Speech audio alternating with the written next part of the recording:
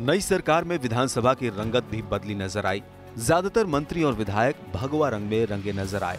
कभी सफ़ेद खादी को राजनीति की पहचान समझा जाता था, लेकिन अब इसकी जगह भगवा ने ले ली है। भवन वही है, कुर्सियाँ वही हैं। बदले हैं तो सिर्फ़ इस पर बैठने वाले लोग और उनके कपड़े का रंग। यूपी विधानसभा के स्पीकर चुने गए हृदय नारायण दीक्षित के सम्मान में सीएम योगी ने अपना पहला भाषण दिया। उन्होंने अपने पहले संबोधन में विपक्ष से सहयोग मांगा। और आश्वासन दिया कि सरकार विपक्ष से भेदभाव नहीं करेगी। लोकतंत्र में कहीं भी ये न लगे कि हमारे साथ भेदभाव है, क्योंकि हम विपक्ष के हैं, इस प्रकार की स्थिति न होने पाए।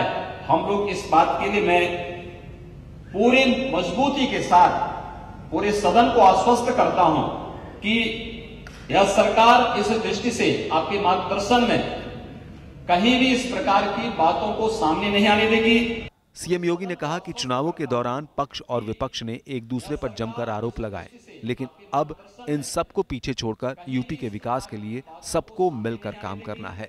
हम लोग चुनाव लड़कर के आते हैं। चुनावी मंचों पर हम लोग एक दूसरे के प्रति अनेक प्रकार के बांगबाड़ों से प्रहार करते हैं, लेकिन सदन कम से कम इस प्रकार के बातों से दूर रह करके उत्तर प्रदेश की 22 करोड़ जनता के बारे में सोच सके।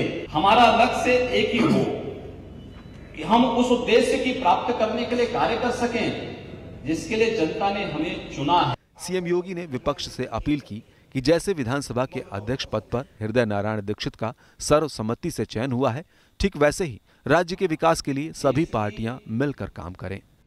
एक आदर्श विधानसभा के रूप में अपना स्थान बनाएगी और ब्यूरो रिपोर्ट, एपीएन देश के अग्रणी राज्यों में स्थापित करने में सफल होंगे।